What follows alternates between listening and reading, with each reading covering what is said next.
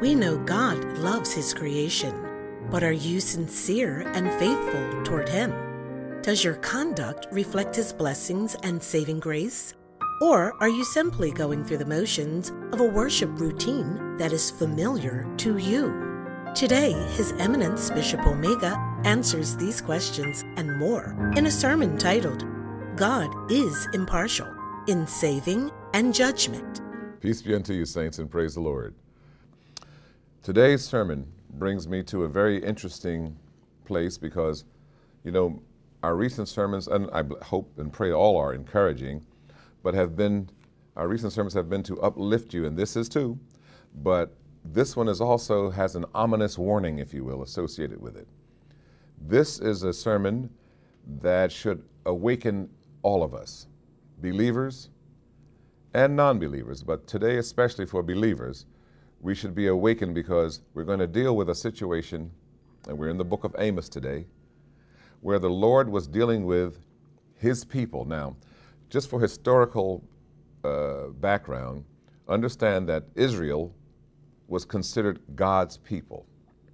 And the reason I say that is because even in, in the book of Amos, God says, Of all the peoples on the, on the planet, I came to you. So, anyone that is considered God's people, this message is to you today.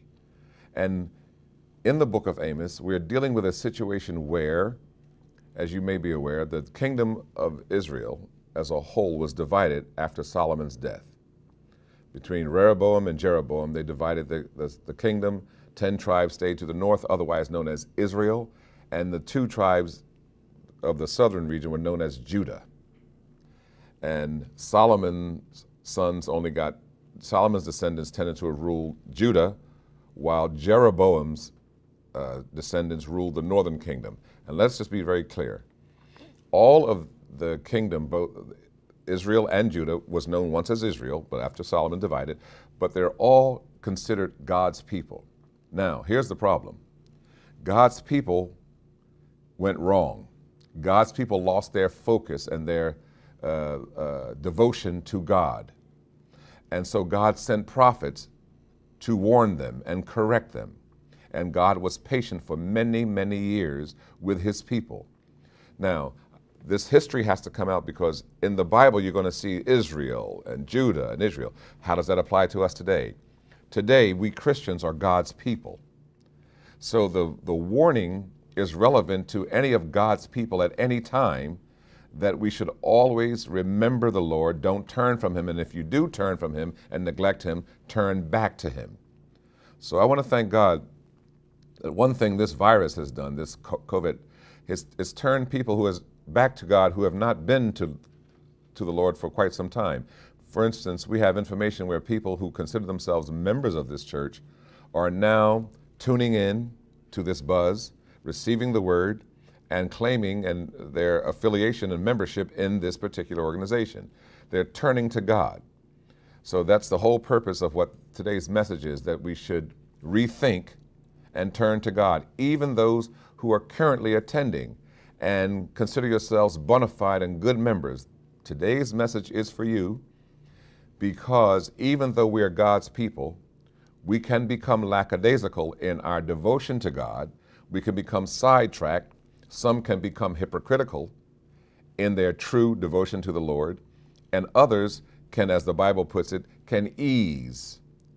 And in other words, say, well, since this is life is like this, let's just do whatever, whatever we want until the Lord comes. We're going to get to all of that, Lord willing, today. Because God was dealing with primarily in this whole book of Amos, his whole focus is on two sets of people. One group were religious hypocrites and we'll define what that means in a minute. The other group were those who said, let's just take it easy and do whatever we want. Since life is as it is, since we have uh, hardships, and since God is going to come and one day judge as well, since we're doomed anyway, man, let's just enjoy ourselves. So God deals with two kinds of groups in this address today, and we're going to use the book of Amos to bring it out. We're going to highlight God's patience, how God has been blessing them, and still they ignored Him appropriate this to yourselves today. Are you one of those who God has been blessing and still you haven't turned fully to Him in your devotion and way of life? We're going to get to all of that, Lord willing, today. in this message, but we we have to address it through the book of Amos because that's what God did when, the, when Israel were his people. Now, and I say his people meaning exclusively because God had not branched out to the Gentiles as a group.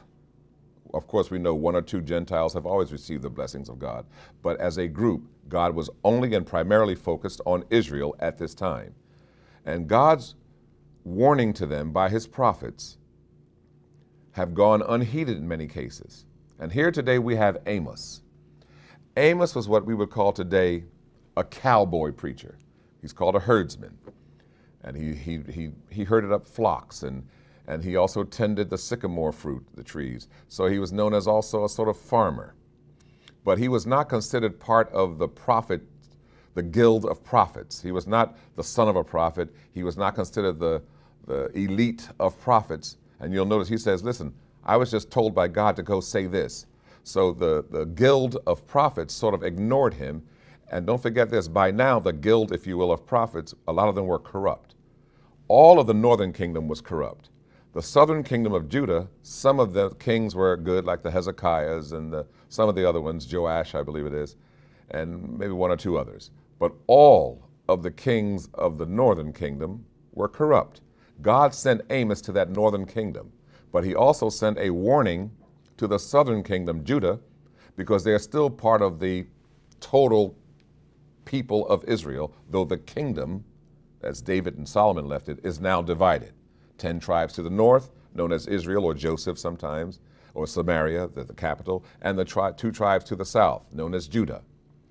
Today, we're going to see where they were willing to accept when God sent punishment and judgment to their neighbors around them who were their enemies.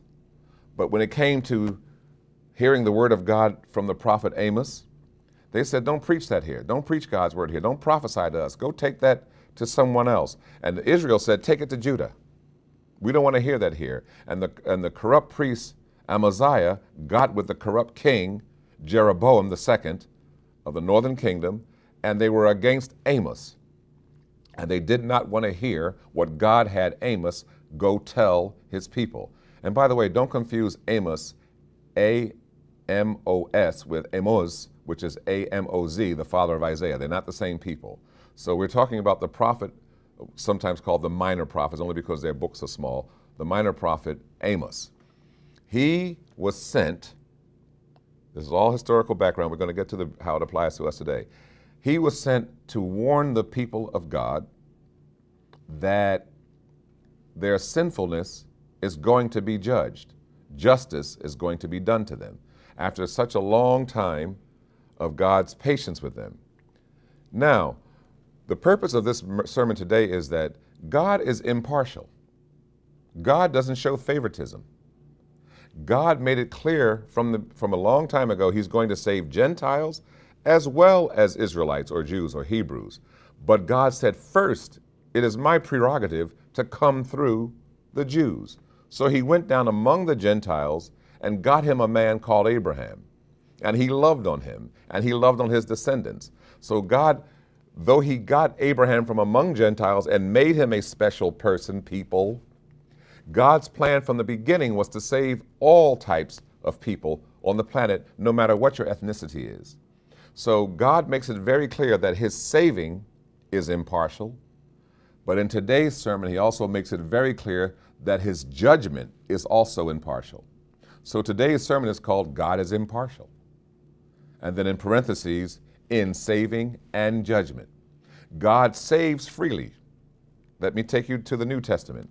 Remember when Peter said in Acts, and I'll quote uh, Acts 10, 10 34, then Peter opened his mouth and said, Of a truth, I perceive that God is no respecter of persons. God is not partial. God is not prejudiced. God doesn't favor one ethnicity over another when it comes to saving. God is no respecter of persons, but in every nation, not just the Jewish nation, not just the African nations, not just in China, not just in Europe, but in every nation, he that feareth God, he that feareth him and worketh righteousness is accepted with him, with God. So that's a very clear statement that God is very impartial, not favoring, it doesn't show favoritism when it comes to saving people. I hope you got that again. He says, But in every nation he that feareth him, God, and he that worketh righteousness is accepted with God, with him. That is simply a statement, and why am I saying this? It's simply a statement to show that God will save anyone. He's impartial. But someone will say, but why does the Old Testament dedicate itself to the, to the Jews primarily? Because God first came through them. It was God's plan to come through them. Even the gospel came first to the Jews and then it branched out to the Gentiles. So, so someone will ask why. It was God's plan. And I'll give you Paul, who art thou to answer against God, O man? Meaning in chapter 7 of Romans, how can you question God? It's God's prerogative to do the plan of salvation the way he will. And he chose to come through the Hebrew, the Jewish people first. So, moving on to another scripture that supports that God is impartial in Acts, again, Peter is quoted in Acts 15 7. Acts 15 7. And when there had been much disputing, Peter rose up and said to them, This is at the council in Jerusalem, when Paul and Barnabas and James, the brother of Jesus, and everybody was arguing and disputing. Peter rose up and said, Because I'll tell you this, some were saying that anyone that comes to Jesus has to go through this and go through the Judaism, Judaizing yourselves. Peter stood up and said, Men and brethren, verse 7, chapter 15 of Acts, ye know that how a good while ago God made choice among us that the Gentiles by my mouth should hear the word of the gospel and believe. And God, which knoweth the hearts, bear them witness, giving them the Holy Ghost, even as he did unto us. God is impartial when it comes to saving. His point is, he gave the Gentiles the Holy Ghost as well as he gave Jews. I'm making this point just to say, you see how God does not show favoritism. He went to the, through the Jews first, but God always opened up salvation to everyone, even the Gentiles. Moving on, verse 9. And God, he's, he's saying, put no difference between us and them, purifying their hearts by faith. I hope you got the message here that from Acts 10 34 and 35 and Acts 15 7, 8, and 9, Peter made it very clear that God is impartial when it comes to saving. Remember again the title today God is impartial, in parentheses, in saving and in punishment. I'm establishing here in the beginning that in saving, you clearly see he's impartial because God opened up salvation to everyone. And with the advent of Jesus and his first ministry here on earth, he brought it to and through salvation, to and through the gospel, the Jews. And then he made it such that it would branch out to all people, but he came first to the household of Israel. And that was just God's plan. But God, through the word, makes it very clear that saving is open to everyone. No matter your ethnicity, no matter which language you speak, no matter how you look, you are free to have salvation. And everyone loves that because we say, oh, now all can be saved. We love that. Yes, we do. Now let's get to the focus of today's message. Also, God is impartial when it comes to punishment or judgment. Someone will say, why then does God punish the Gentiles who didn't have his word? Is God fair? Then you must be forgetting Romans. Romans tells us that God has given everyone a chance. How? Well, God put it on the hearts and conscience of every human being on the planet to obey his law. Now, the thing that God, God, uh, if you will, that God could not put up with is when man ignored the heart and the conscience that God gave him and got so cruel with one another. And you'll see when we get to the Gentile nations around Israel that God punished. They got so cruel that God finally wrought judgment or punishment on them.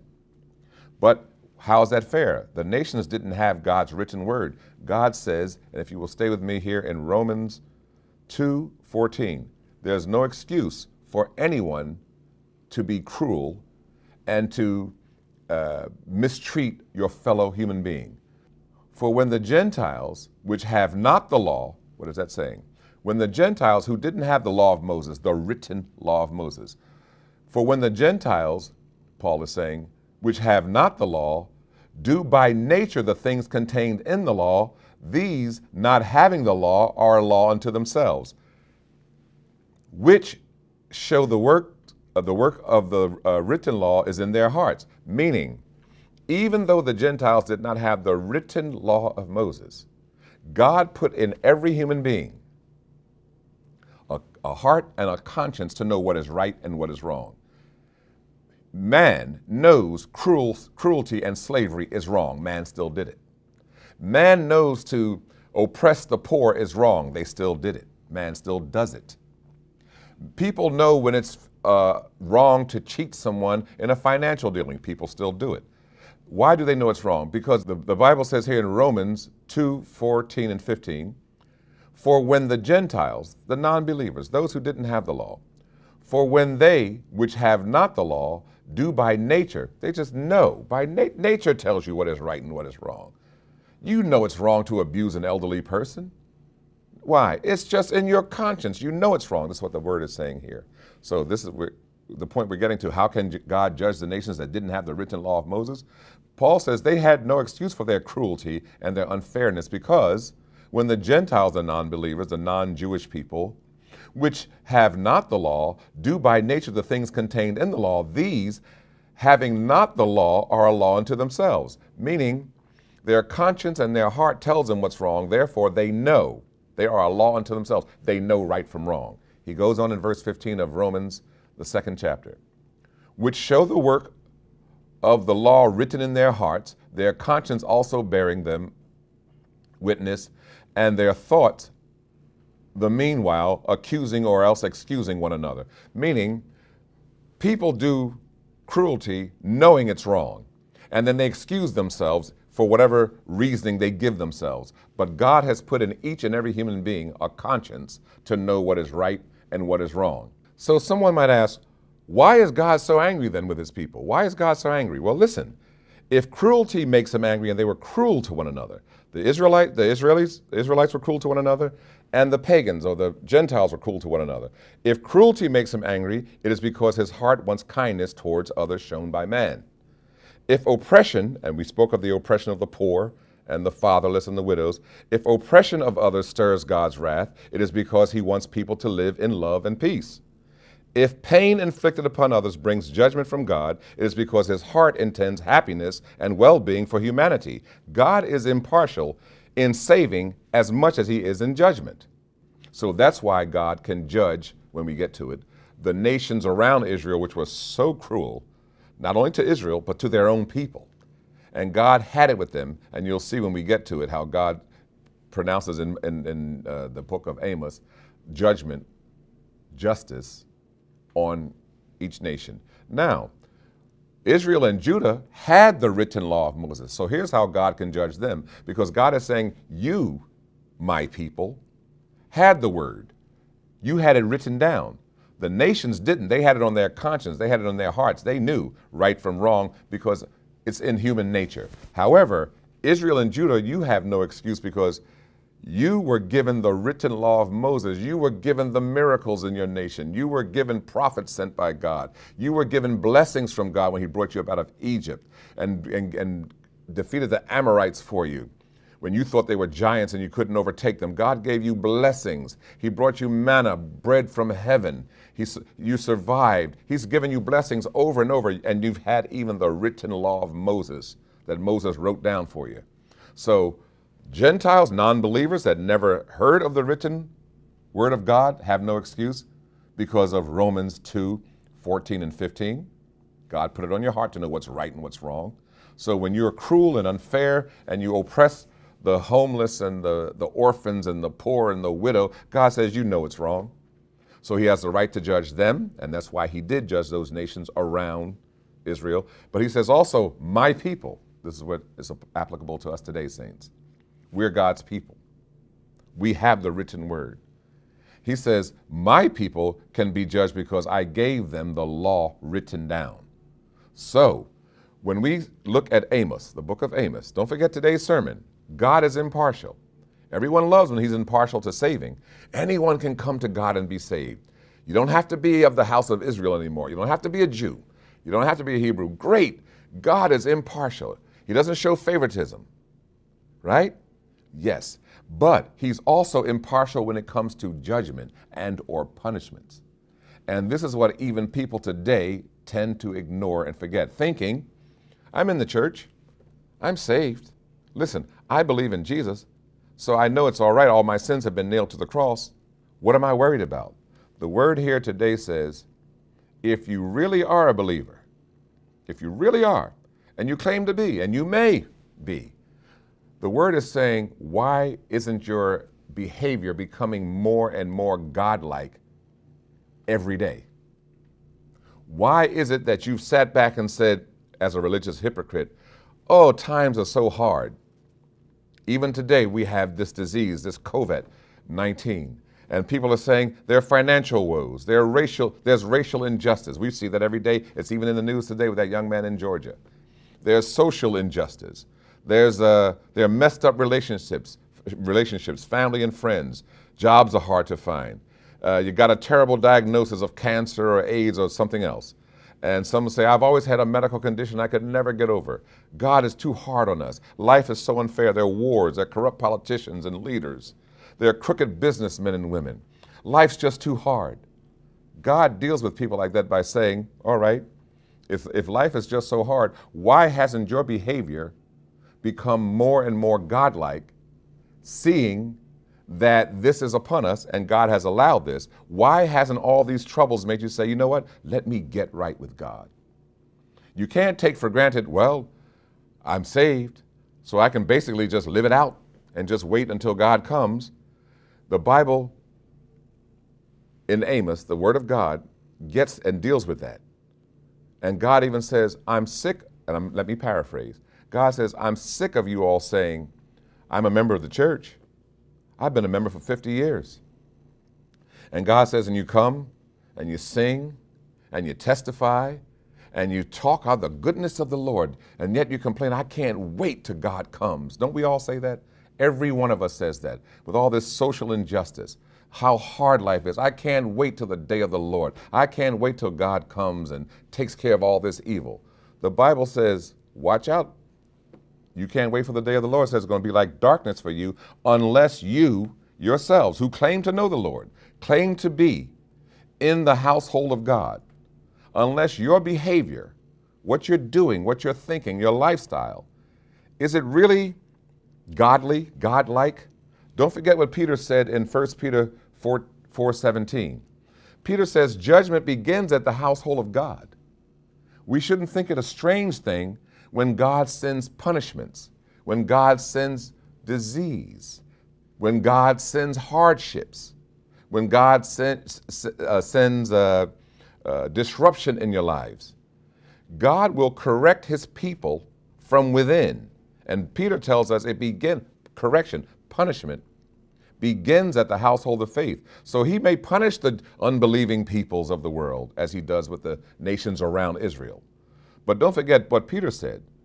God begins his correction and his punishment at the household of God.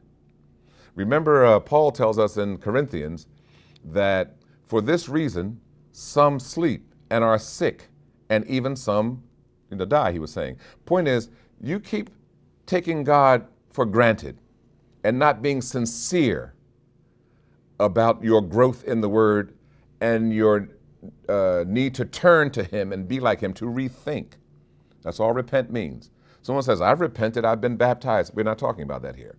We're talking about lifestyle that reflects that you appreciate that God's day of judgment is coming soon. Remember Ananias and Sapphira, they were in the church. But didn't God cleanse the church of them? Punishment, correction, judgment begins in the house at the household of God, Peter says in 1 Peter 4:17. Please read that and understand what he's saying. God will always exact punishment on wrongdoing. And Peter made it very clear he's going to begin with his own people, meaning he will not be partial and let his own people get away with sinful living. a lack of growth. And I often plead with you, saints. I say, do you really let the Word of God make a change in your life when you hear it? Really?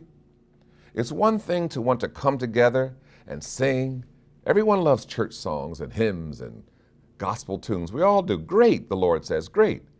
But the Lord is saying, unless your heart is really turned toward Him, not when it's convenient, not when people are watching, not when you come to church, not when you're on your, your conference calls and you're encouraging one another. No, all the time. Is your heart really pricked and cut where you want to be more and more like God every day? This is the plight that's given to those of us who call ourselves believers. We know there are hard times. God says, I send hard times to strengthen, to correct, and sometimes to chastise you. God does that. You'll see God, God told his own people, I sent the, the, the hardships that you've had, and still you won't turn to me. How does that apply to us today? We complain, this COVID, I'm sick of wearing these masks. I'm sick of being locked in my house. Are you taking advantage of the fact that God not only is speaking to us, He's speaking to the world by allowing what He's allowing. Are we taking advantage of this saying, what is God saying to me through this, through these hardships? Don't forget, read Hebrews.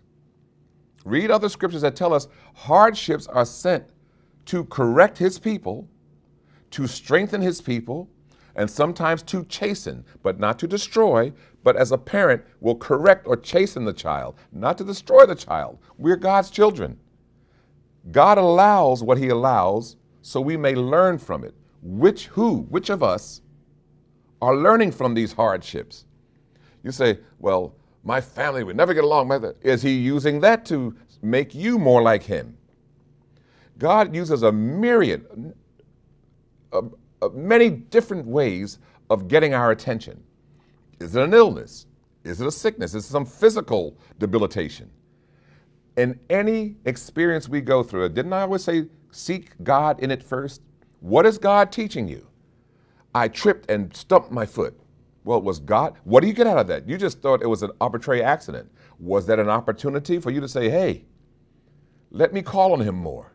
Because I can guarantee you when that pain hits your foot, you'll call on him.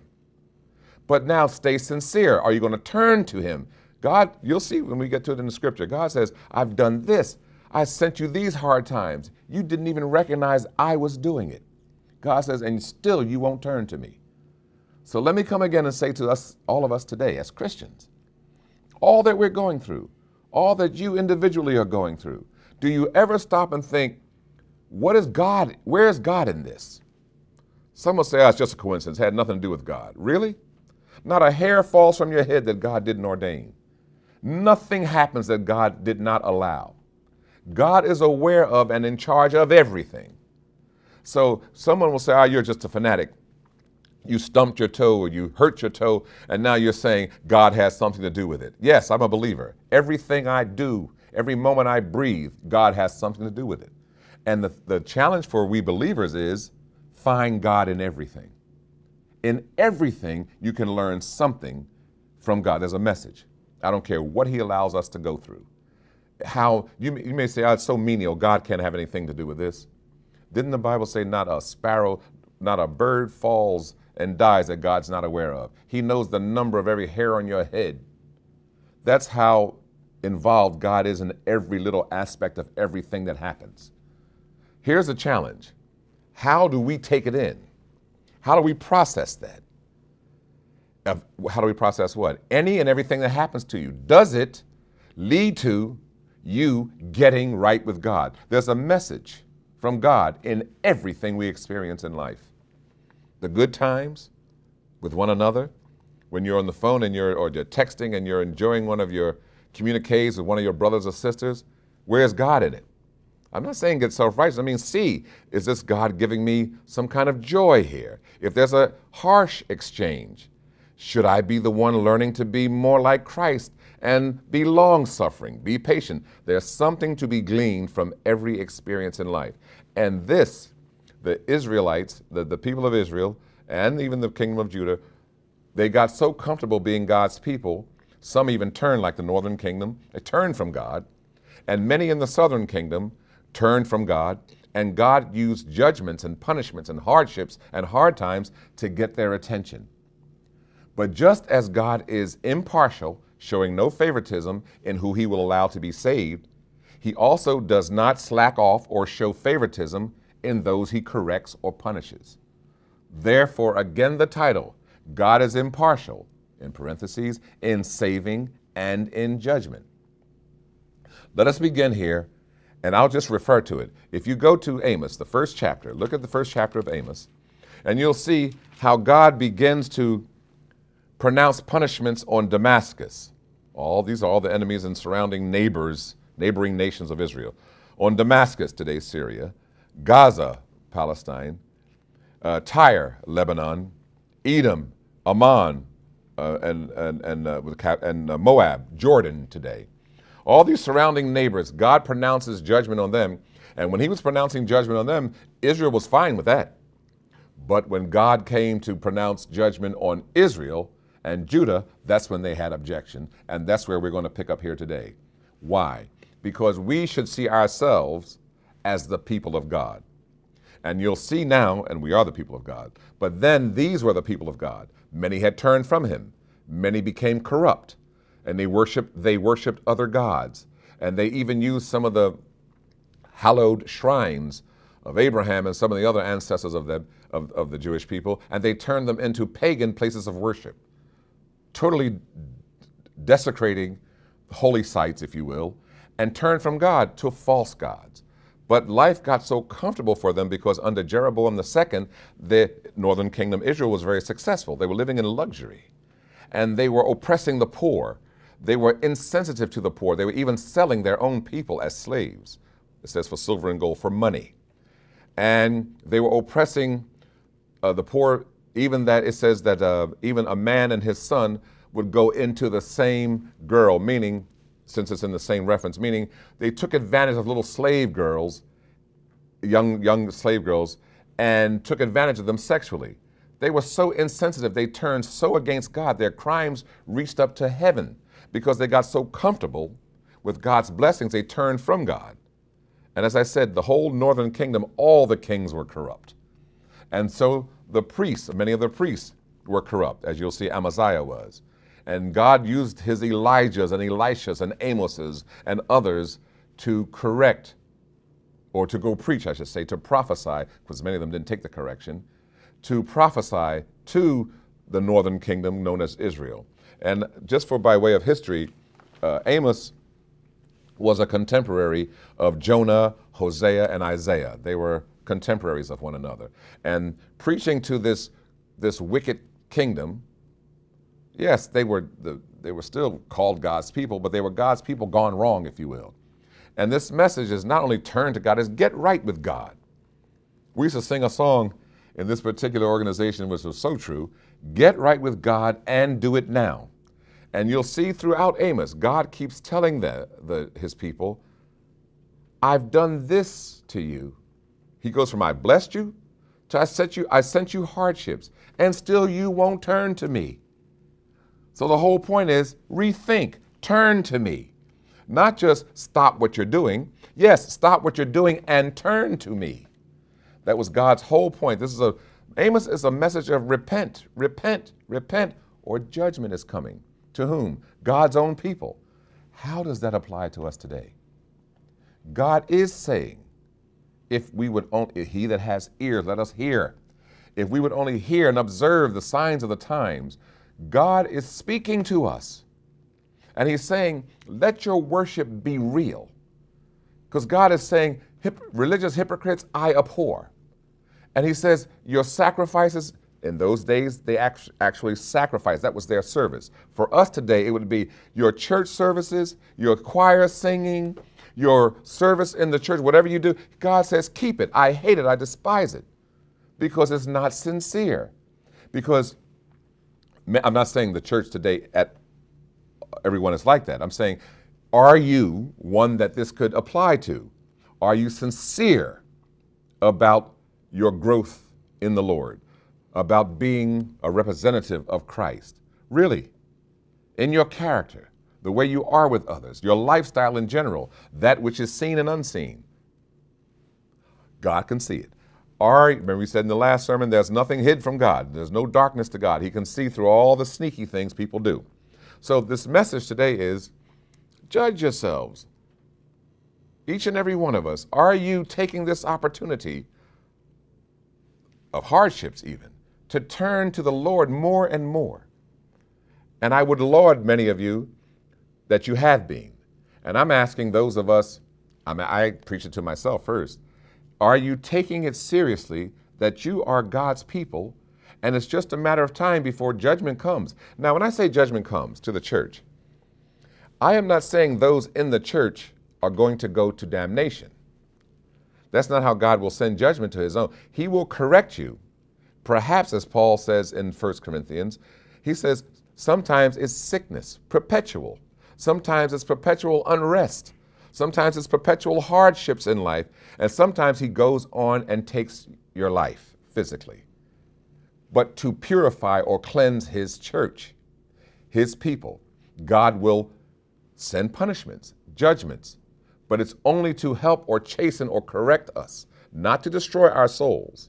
But sometimes he will destroy the body to save the soul and to save the purity of his church. We're going to start here in Amos, the second chapter, where after in the first chapter, and I'll leave that for you to read on your own. In the first chapter, where he sends woes. When you see the word woes, it means punishment or judgment to. He sends woes, as I said before, to Damascus, to Gaza, to Tyre, to Edom, to Ammon, and to Moab. God sends punishments to them. And the Jewish people of, the, of, uh, the, of Israel, they were fine with that until the Lord turned to them. And then they said, and let me just jump ahead and just show you what uh, the prophet, uh, I should say the priest, Amaziah said to uh, Amos. When Amos came preaching against them, then Amos, uh, then Amaziah, the priest of Bethel, Bethel was in the northern kingdom in Samaria, near uh, in that region where they had turned worship into false worshiping false gods. So they turned from God. So uh, Amaziah, the priest of Bethel, sent to Jeroboam. This is Jeroboam the second. He was corrupt too, but the Lord blessed him to be financially very successful, so the kingdom was living richly. And they didn't want to interrupt that and turn back to the Lord because they were loving all their pagan and their sinful ways. Verse 10 of uh, the, the seventh chapter of uh, Amos. Then Amaziah, the priest of Bethel, sent to Jeroboam, king of Israel, saying, Amos has conspired against you in the midst of the house of Israel. The land is not able to bear all his words. For this is what Amos said. This, this is Amaziah telling King Jeroboam II, Amos is out there preaching against you, and here's what he said Jeroboam shall die by the sword, and Israel shall surely be led away captive from their land. Then Amaziah said to Amos, Go, you seer, mean get away from here. So you see, the corrupt priest is telling God's prophet Amos, don't preach that mess here. It's not mess, but that's what he's saying. Don't you preach that here. Go, you seer, flee to the land of Judah. Go tell the southern kingdom Judah this. Don't tell this to us up here in Israel. We want to stay pagan worshiping. We want to do whatever we want to do. We want to live luxuriously. Look at how we're so blessed and so rich. We don't want that to mess up. We don't want to think about God and his punishments. Ah, that won't come. And if it does, let us live, eat, drink, and be merry. Who cares? This is what they're saying. Go, you seer, one who sees the future. Go, you seer, flee to the land of Judah. There eat bread and there prophesy, meaning go there and earn your living. Go preach to the, the lower kingdom, Judah. But never again prophesy at Bethel, for it's the king's sanctuary and it's, a royal, it's his royal residence, meaning this is where the king lives. This is where good times are. Don't bring that here. Don't insult the king by bringing your, your preaching against him here. And then Amos answered and said to Amaziah, I was no prophet, nor was I the son of a prophet, but I was a sheep breeder and a tender of sycamore fruit. Then the Lord took me as I followed the flock, and the Lord said to me, Go prophesy to my people Israel. I didn't choose this on my own. He says, I'm not from the guild of prophets. I'm not one of the elite. Uh, there was a guild or a group of prophets. And he was saying, I'm not one of them as Samuel was. But he says, I'm not one of them. He says, uh, Go prophesy. Uh, he says, The Lord said, This is Amos saying, I didn't choose this. He said, The Lord told me to go tell you all this, to go tell Israel this. The Lord told me and said, Go prophesy, go preach to my people Israel, go predict and tell them what will happen. Now, therefore, hear the word of the Lord. But you say, Do not prophesy against Israel, and do not spout against the house of Isaac. You see what is happening here? The priest has conspired, the priest Amaziah has conspired to be in cahoots with the king. Amos says, I was minding my business. I was a cowboy. I was a herdsman. I was taking care of the flocks. I was taking care of the sycamore fruit. And the Lord told me to come tell you this. This is not my prophecy, but it was all right when Amos prophesied against the neighbors of Israel. But when he came to Israel, you see, even the very priest Amaziah got against him and said, Don't bring that here. We don't want to hear that here. But let us begin here at Amos, the second chapter. Hope everyone has it. Amos, the second chapter, and the fourth verse. Now, what we're coming off of is all prior to this, from Amos 1 until now, God, through Amos, was prophesying against Israel's neighbors. And Israel was fine with that. But now, the Lord, uh, where does judgment begin? At the household of God. God says, My people are not immune from judgment. He says this to Judah Thus says the Lord. Ju- Judah, again, is the lower, the smaller kingdom of the two tribes, where all the ten tribes of the north stayed and became known as Israel. All of them are Israelis, if you will. We'll, we'll clarify that in a minute. But right now, the two kingdoms are divided, and the Lord is addressing them like that. So he begins with Judah. And you'll see that Amos's main target is the larger kingdom of Israel, which was totally corrupt. He says, Thus says the Lord, this is Amos talking to the people of Judah.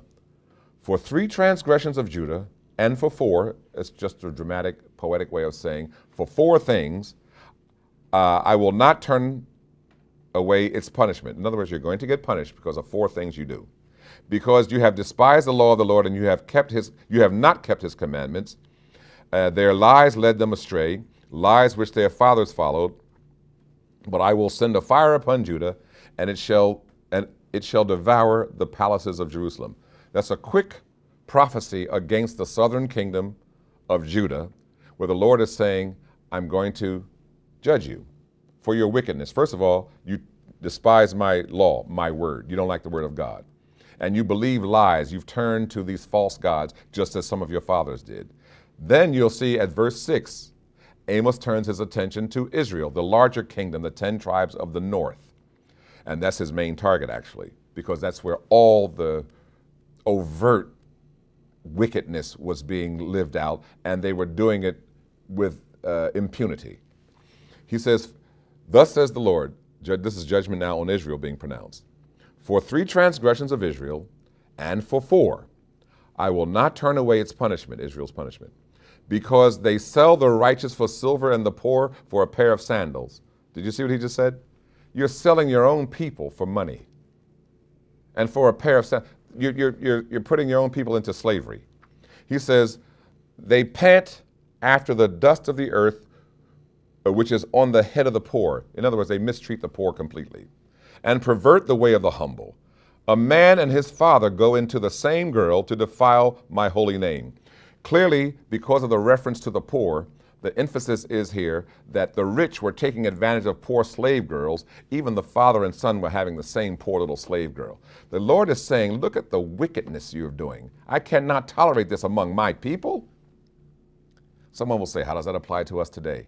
All I am showing you by showing this is that the Lord does not put up with wickedness among his people when it goes on with impunity and a sense of complacency settles in among his people where nothing seems to be happening. Let us just go on enjoying our sinful ways. God says there comes a period and a time when I'm fed up and I've had enough, and your cruelty has come up to me and I can take it no longer.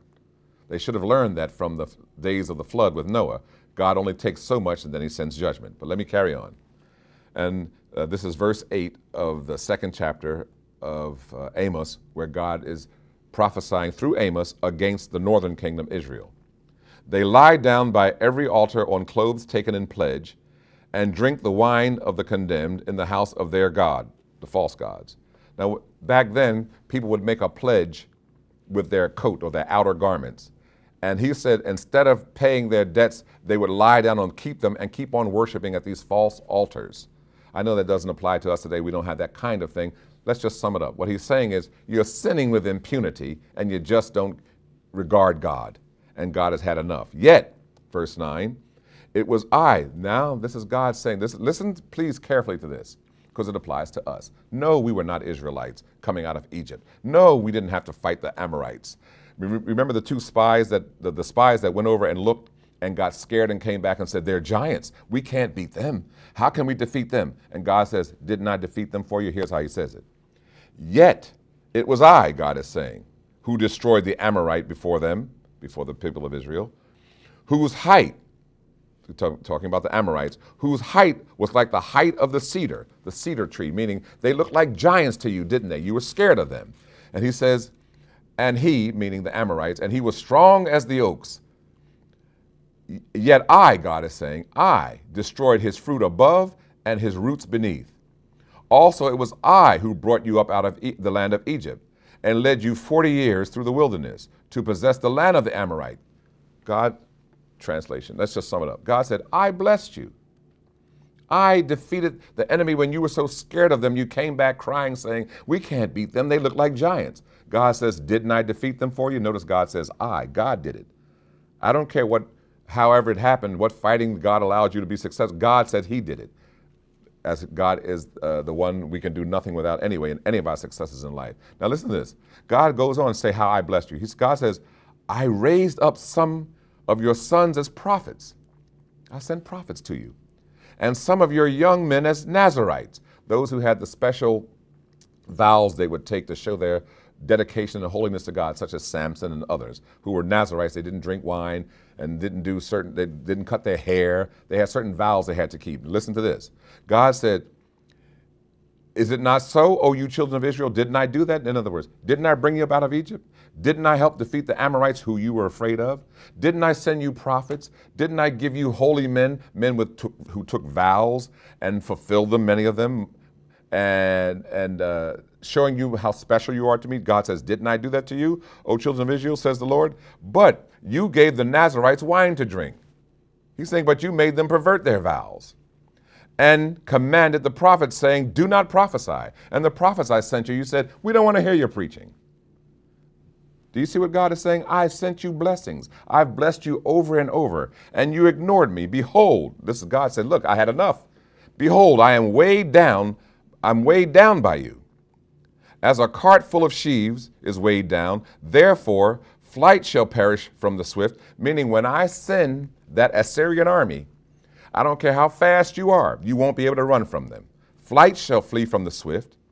The strong shall not, uh, shall not strengthen his power nor shall the mighty deliver himself. He shall not stand who handles the bow. The swift of foot shall not escape, nor shall he who rides the horse deliver himself. The most courageous men of might shall flee naked in the day, in that day, says the Lord. What the Lord is saying is, since you've ignored my blessings, now you always apply this to yourself. Since you ignored my blessings, you won't be able to escape the great punishment that was coming to them. Now, you will remember through history that the Lord sent the Assyrian army, which was a, considered the, the cruelest people in the, ancient, in the ancient world, if not the cruelest, some of the cruelest. The Lord sent them as his hand to punish his people, to get their attention, to make them appreciate how he's already blessed them. And he sent these warnings. And you saw back in Amos 7, I skipped ahead there, they had been warned now, you see, in, in, in chapter 2, and they still don't want to hear the word of God. We don't want to hear that. Go preach that in Judah. Don't preach that to us here. We don't prophesy here.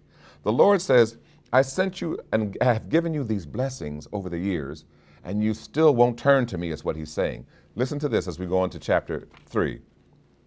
Hear this word that the Lord has spoken against you, O children of Israel. Now listen to this. And against the whole family which I brought up from the land of Egypt. Why did he say the whole family after just saying the children of Israel? Because he now included the southern kingdom of Judah. Because they all came out of Egypt as one people.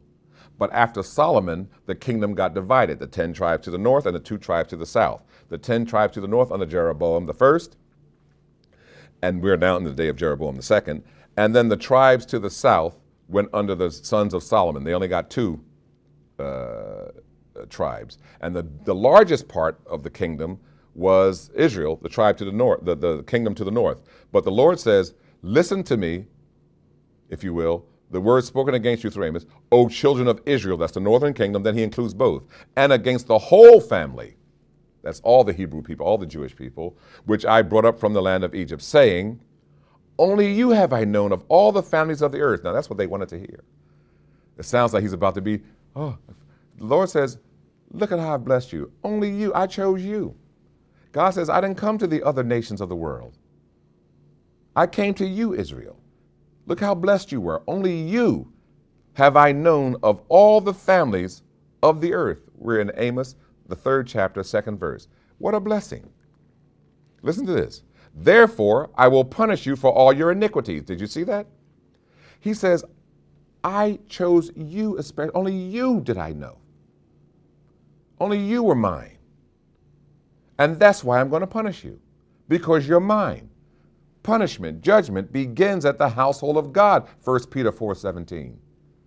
God is making it clear, I'm punishing you because I have given you such privilege and advantage and blessing, and you still won't turn to me. Then he goes to that famous phrase that everyone always quotes Can two walk together except they be agreed? God says, How can I carry on with you? You don't agree with me, you've turned to other gods. How can I continue to ignore this sin against me? So, while they were being blessed in good times, they were having great times there in the northern kingdom, turned against God though, but financially and socially, and they were doing well. And God says, In all this, you turned against me. But look at how blessed you were. He gave them the history going back to Egypt. And then he came on down and said, I sent you prophets and, and holy men, and I've blessed you, and you still won't turn to me. He says, Now look, of all the people on the planet, I came to you. And that's the reason I'm sending judgment to you. Do you see how God is impartial? Not only did he punish Damascus, Gaza, Tyre, Edom, Ammon, and Moab, he also says, and my own people, Judah and Israel, the northern kingdom and the southern uh, kingdom, Israel being the northern, Judah being the southern. He says, I'm punishing you too. Why? Because of all the people on the all the peoples on the planet, I've known you only. I came to you and this is why I'm punishing you. Punishing you. Can two walk together except they be agreed? And now we're, let's, I'm going to jump through uh, the, the book of Amos. We're not going chapter by chapter here, giving you the overview, because now it brings us to almost where we are today. Because God is now saying, I've even sent you hardships, and you won't turn to me. Again, let me bring it into us today. Whatever it is you're going through, why don't you ever take the time to say, maybe I should become more holy, more like God, more godlike? God starts off here in the fourth chapter. Uh, when I say starts off, I'll pick up here because all of the fourth chapter, you'll see how he's uh, uh, reminding them, I did this, I did this, and you still won't turn to me. But since we are with this COVID 19 today, let's pick up where God even says, I use pestilence or disease. God said, I sent among you a plague, a pestilence, a disease, a sort of COVID. He says, I sent a plague among you after the manner of Egypt. Your young men I killed, I, God said, I killed with a sword, along with your captive horses, and took the horses captive. I made the stench of your camps come up to your nostrils. Yet, this, this is the Lord's whole point, yet you have not returned to me, says the Lord. I want you to see that, saints, clearly, that the Lord is saying, I've even, first of all, you just saw where He sent them blessings, brought you up out of Egypt, blessed you, defeated the Amorites for you, gave you holy men, all, and you won't turn to me. Now He says, I've even given you hardships, and you won't turn to, to me. And He goes on. Uh, verse 11, uh, chapter 4 of Amos. I overthrew some of you as God, now this is, uh, if you will, Amos using as God overthrew Sodom and Gomorrah, a sort of uh, footnote, if you will. I overthrew some of you as God overthrew Sodom and Gomorrah, and you were like a firebrand plucked from the burning. Meaning, and some of you just barely escaped, right? Look, what does God say now? Yet you have not turned, returned to me or turned to me. What is God saying here? Even in the case of Sodom and Gomorrah, I could have destroyed all of you, but some of you made it out, just like pulling a firebrand out of a fire. He says, To you, he was talking to them, the people of that day, I've overthrown some of you, and yet you don't consider that you've just made it out, as they say, by the skin of your teeth. You just made it out as a firebrand, he says, plucked from the burning. Yet you have not returned to me, says the Lord. Therefore, thus will I do unto you, O Israel, because I will do this to you. Because I will do this, I like this. Because I will do this to you, pre- prepare to meet your God, O Israel. Same thing today. God is saying, I have known you, I've loved you. And if you won't turn to me, you better prepare to meet your God. And don't rest on the fact, I'm saved. And God says, then why don't you show it more in your behavior? Why are you acting so comfortable, so comfortably in your lives as though you can do whatever you want? Two groups of people God is addressing here, as I said earlier. The religious hypocrites, we're going to get to that in a minute, and also those who want to just take it easy and say, we'll do whatever, we got it like that, we're God's people. Even if we go to damnation, who cares? Let's enjoy our lives now. God is, I want you to see here, God has warned them. Therefore, thus says the Lord, verse 12, to you, O Israel, uh, I will do this, he says, to you, O Israel, because I will do this to you. Prepare to meet your God. And then he goes on to, if you will, to tell them who he is. He says, For behold, he who forms the mountains and creates the wind, who declares to man what his thought is, and makes morning darkness, who treads the high places of the earth, the Lord God of hosts is his name. God just ended up with, don't forget who you're dealing with here.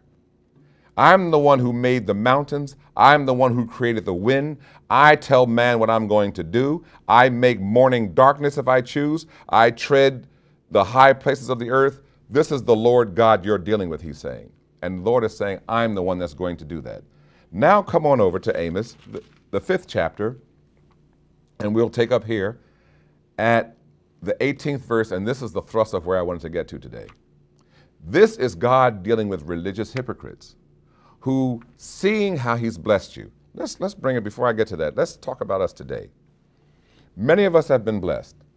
We've been brought out of the miry clay into the marvelous light. Well, that's for the last 28 years or so. God has brought us a long way in understanding His Word.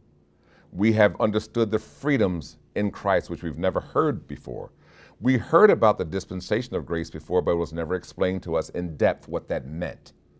We heard so much before, but we have been so blessed in these last 28 years. And let me ask you this Has that in any way changed your behavior? Don't just go with the, the, the, side of that means, man, we can dress how we want, we can do what we want. God is saying, Are you becoming more like me, like God? Has an awareness hit you that I, God saying, I want a sincere heart? When, when I see you sitting in church, and right now we're at home, wherever you are, due to this virus, we're spread out all over, and we can't assemble together yet, one day, Lord willing, soon. But God is saying, when you're sitting in church and you're amening and you're clapping and you're getting up and you're testifying and you're singing in the choir and you're doing your service in the kitchen and you're, you're cleaning up and whatever it is you do, your sergeant at arms, your ushers, uh, whatever it is you do, the Lord is saying, but is your behavior, is your heart really turn to me? The Lord says, I see what you're doing. And many of us in this particular organization and those who consider themselves in the one church anyway, God says, yes, you're saved, but are you growing closer to God? Meaning, are you becoming more godlike? We're going to see here where God can't stand religious hypocrisy. Are you doing it just because, well, I've been doing it for 30 years, 50 years, 80 years, 70 years, so let's go to church. Why? It's Sunday. The Lord is saying, no, when you come, even now, when you tuned in today, are you honestly here have you tuned in to hear the word, to be pricked by it, to grow by, by it, to be reprimanded by it, to be chided by it, to be corrected by it, to be uplifted by the word? Is that why you're here today? Or are you here because it's Sunday and we tuned into the buzz and that's what everyone else is doing, so let's just tune into the buzz and go on back to our regular lives, never getting more like God after this service goes off? The Lord is crying out to us as he did to Israel. I've done this for you. I've been in your midst. I've been with you, but will you grow from the blessings I've given you? Will you grow from the hardships I've sent you? Are you growing closer to God? Are you becoming more God-like? God puts it this way to those who sit and say, Oh, life is so hard. I can't wait till the day of the Lord. This racism gets on my nerves. Social injustice gets on my nerves. It's hard to find employment these days. Man, the financial institutes are just so hard to deal with. I can't wait till God comes. We've all said things like that. When, especially with social injustice and racial injustice and, and, and financial inequities and the various hardships in life, and you see uh, child abuse and abuse of the elderly. And don't we always say, Lord, I can't wait till God comes and takes care of all this evil? The day of the Lord. Don't confuse that with the day of Christ. The day of Christ is when the, we, the church, gets raptured. But the day of the Lord is when the Lord comes to settle scores, to, to, to, uh, to his wrath, to make things right, to punish the wicked. And the Lord is saying, those of you that call yourself my people, you have the nerve to say, I can't wait until the day of the Lord. He says, For you, it won't be such a great day like you think. It might be darkness for you. And I want you to see, saints, please pay attention to what he's saying here. Woe to you who desire the day of the Lord.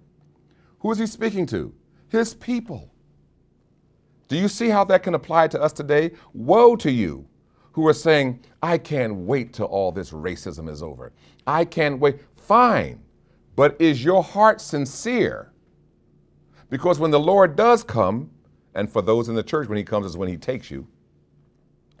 When the Lord does come, are you really ready for him? This is why we should examine ourselves today.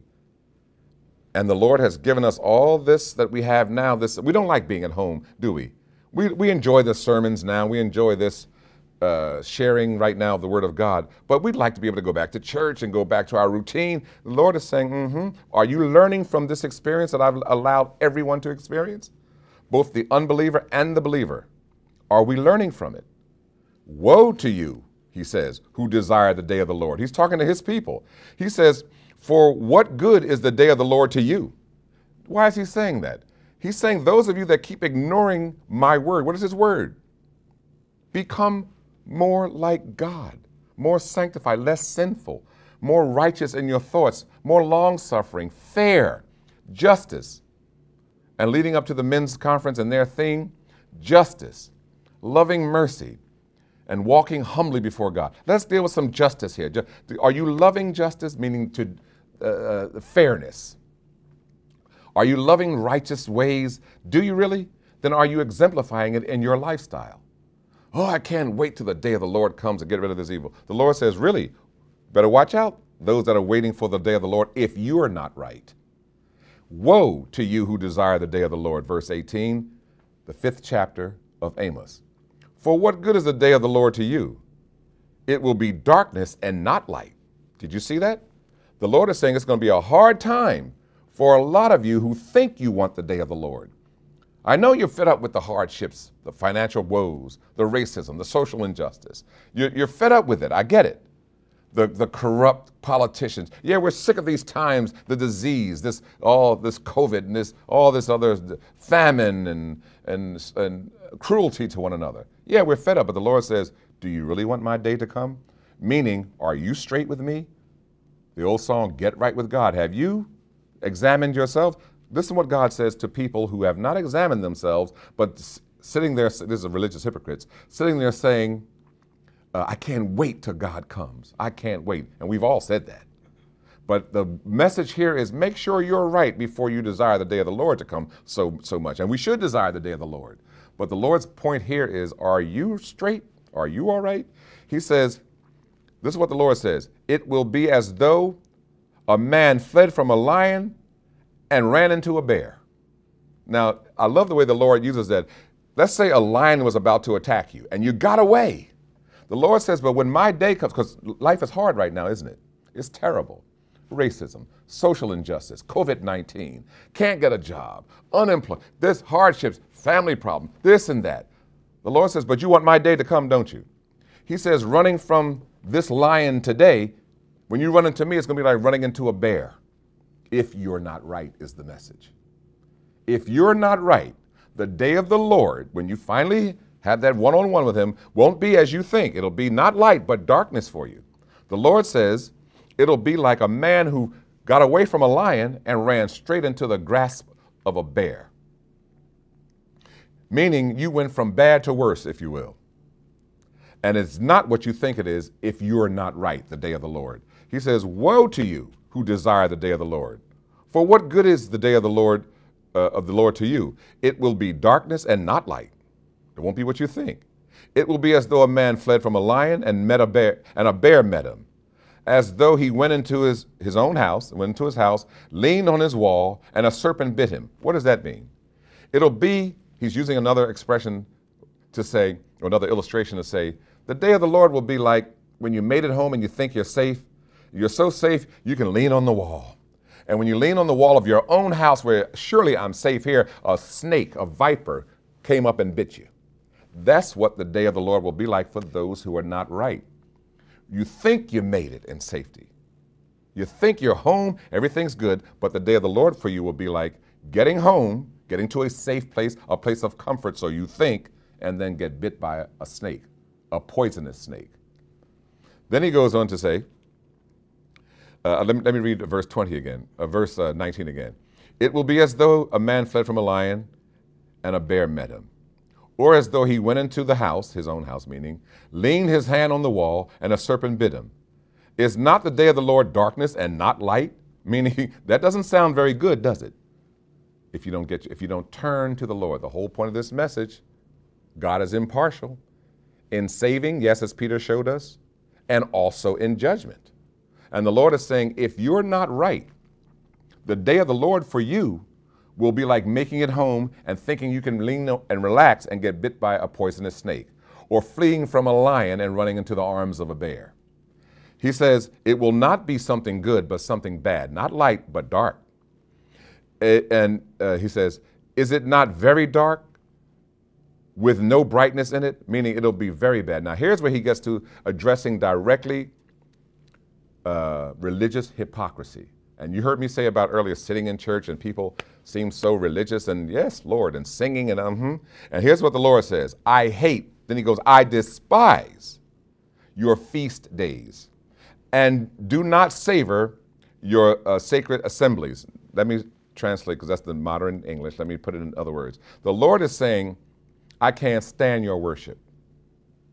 Back then, their worship was certain holy days or feast days and certain burnt offerings. And the Lord says, Though you offer me burnt offerings, your grain offerings, I will not accept them, nor will I regard your fattened uh, peace offerings. You can bring the, bring the best animals and offer them in sacrifice. And you can do all the days and, and uh, sacrifices and ceremonies with Lord, which I, the Lord, appointed. But the Lord says, I not only hate, I despise them. What is he saying? Well, today, how do we bring our sacrifices, our prayers? How do we worship? In service.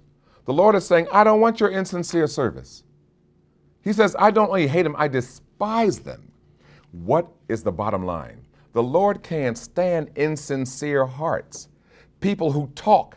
And you have people who can talk good religion. They can sound good, and I mean, when you get used to it, they sound like you, will think that person surely is a holy person, a good religion. And God is saying, if your heart is not sincere, I can't stand it. People that come to church just to mark time, just because it's Sunday, I have to go to church. If you sit, if you're sitting amen, just to be seen, or you're amening the word of God in insincerity, you're not living it. You don't believe it. You're not fulfilling it. God says, keep your worship. Keep your. God says, I can't stand it. He says, not only do I hate it, he says, I despise it. Listen to this. He says, Though you offer me burnt offerings and grain, we don't do that anymore today, and grain offerings. What do we do? Well, he's going to tell you. He says, Take away from me the noise of your songs. Ah, so when you come to church and you come before God and all this singing, God says, Stop it if you're not sincere. Take away the noise of your song. I don't want to hear it because I hate it. I despise it if you're not sincere. So you see how God is saying religious hypocrisy gets under, to use the expression, gets under his skin. He says, I hate, I despise insincere hearts. And we ought to examine ourselves today. As he told his people, and we are his people today, I've given you blessings, I've put on you hard times. None of it made you turn to me to correct your ways. None of it made you sort of rethink, repent, and turn to me. God is saying then you can keep your phony forms of dedication, devotion, and worship. Back then it was grain offerings, it was burnt offerings of meats and various um, animals. God says, keep them. For I will not hear your melody. I will not hear the melody of your stringed instruments. But here's God, but God says, but here's what I want. To get back and to hint at the men's conference theme. Here's what I want. God says, I want judgment or justice. Let justice run down like water and righteousness like a mighty stream. He says, What I want is for you all to be fair and loving and nice with and equitable with one another. He says, Let that run like water, like mighty streams. I don't want insincere and fake shows of worship and devotion, God is saying. If you're not sincere, God said, keep it. God says, You're not fooling me. You may fool Bishop, you may fool the whole presbytery, you may fool other saints in general. God says, You never fool me. I hate insincere worship, I hate religious hypocrisy. Then he addresses another group of people. And I'll just jump ahead to the sixth because he carries on from 25 to 27 in, in uh, chapter 5, uh, essentially the same thing, saying, I can't stand your idols and your false worship. Then he goes on to those who are at ease. And here in the old school, in the old days, we used to say, uh, Woe to those that are ease in Zion. And that used to mean for us, Woe to those who don't want to do anything in the church. That's not what he's saying here. He's saying, Woe to uh, you who are at ease in Zion Listen to this. And trust in Mount Samaria. Now, all the rest of this are woes. But that first initial woe goes to everything else you're about to hear. And I'll, here's what I'm saying. He says Zion. That represents Judah, Jerusalem. Zion means Jerusalem. So he says, Woe to the capital of the southern kingdom, Judah, and woe to uh, those who worship at, at Mount Samaria. That's the northern kingdom. So he just included all of Israel, so all of his people. So God is saying, Woe to all of my people in both kingdoms. And today, how will we apply that? Woe to everybody everywhere in the church. What? Notable persons in the chief nation to whom the house of Israel comes. Now, I like this because you have to really research this to know why he said this. Go to Kane, Calneh, and see. And from there, go to Hamath, the great, and go down to Gath of the Philistines. Are you better than these kingdoms? He's asking. Or is their territory greater than yours? What God is saying is go to what is today Syria, Calneh, and also Hamath, Syria, great cities. Did they escape judgment? He says, even go to Gaza of the, of the Philistines. He's saying, did they, as great and beautiful and powerful as those cities were, God is saying, did they escape judgment? How do you think Zion, those that are ease in Zion? This is the second group says, Amen. if we're going to be condemned, let's just do what we want. Let's eat, drink, and be merry. Let's just have a good old time. God says, go look at Calneh. Go look at Hamath. Go look at Gaza. God says, did they escape?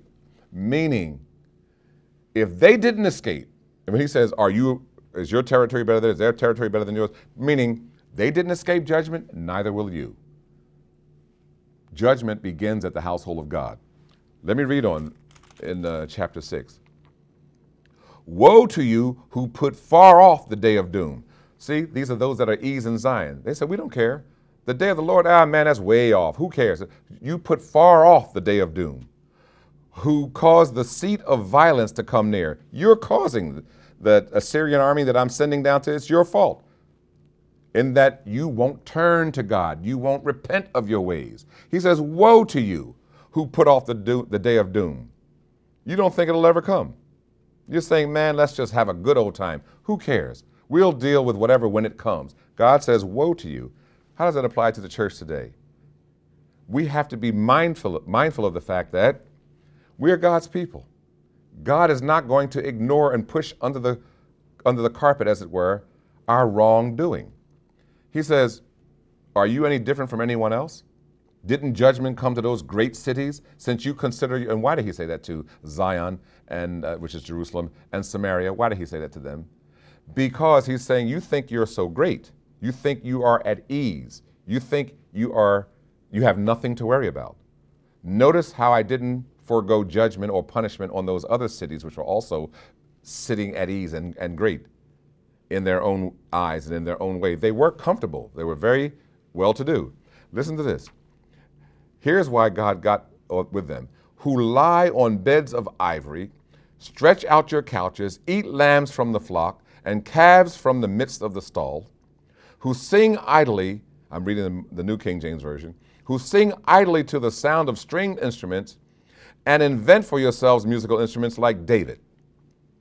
He is not here comparing David's worship on the stringed instruments to theirs. Theirs was for evil.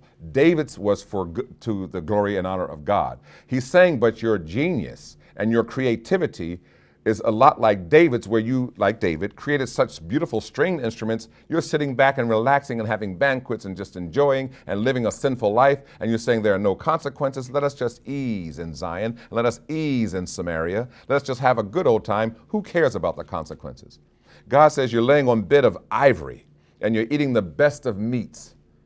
And God says you've made musical instruments instruments for yourselves and you sing songs. And you're very ingenious with your creating your instruments so much you're similar to David the way David created many instruments stringed instruments. That was a big thing to have stringed instruments to make music back then. He says and have invented for yourselves musical instruments like David who drink wine from bowls. Those bowls were usually used for sacrifices. He's saying you're using them just to party down Another thing, it shows how wealthy they are because they're not drinking out of sheepskins, they're drinking out of bowls. God is also, look at how rich you are. And you're taking it all for granted. And you're saying, we're at ease in Zion, we're at ease in Samaria, we're having a good old time. Who cares about uh, the punishment that God may be bringing? God says, You've said in your mind, the day of doom, verse 3, is far off of chapter 6. You, you, it's far off, yet you're bringing punishment on yourselves. When I send that Assyrian army in 722 BC and take you into captivity, they conquered Syria earlier, and then they came and conquered the northern tribes of Israel and took them into captivity, and thus the diaspora of the Jewish people. And of course, you'll remember in 586, Judah had the same punishment come to them when Nebuchadnezzar came. I don't mean to get too technical or factual with, his, with history, but you must know these things that the Lord prophesied these things would come, and they still ignored the Lord. And the Lord was giving them full warning straighten up your lives, turn to me. I've done this if you read chapter 4. Read, please read chapter 4. The Lord says, I've done this to you, and I've done this to you, and still you won't turn to me. And then you go back to chapters, the earlier chapters, where he says, And I've blessed you, and I've brought you out of Egypt, and I've given you holy men, and you tell them, Don't prophesy here. The Lord said, What must I do to get your attention? So the Lord, through his word today, is telling us, Don't be like these. Those that ease into two groups of people, first of all, the religiously hypocritical, those who come and worship and aren't sincere, make no effort, make no effort to become more like the Lord and then those who just take it easy and say, whatever, man, whatever happens, happens. Let's just make the most of this life. That's all that there really is anyway. So let's just eat, drink, and have a good old time. And if doom comes, first of all, God's not coming for a long time. If it does come, we'll deal with that then. And you'll see the two different groups addressed, first of all, in chapter 5 of Amos, 18 through 27. You can read it all yourself. I stopped at 24, I believe. Yes, you can read it on down to 27. Then he picks up on the second kind of group that he's addressing today those who just shrug it off and say, it's no big deal. Let's just ease. Let's take it easy and have a good old time.